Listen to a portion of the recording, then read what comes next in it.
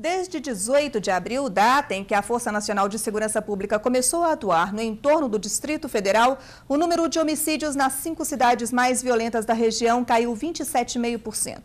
Na cidade ocidental, por exemplo, os homicídios caíram pela metade, de 10 entre janeiro e abril para 5 no período de julho a agosto. Os dados são do Gabinete de Gestão Integrada do Entorno, que é um órgão da Secretaria de Segurança Pública de Goiás, que articula a ação com o governo federal.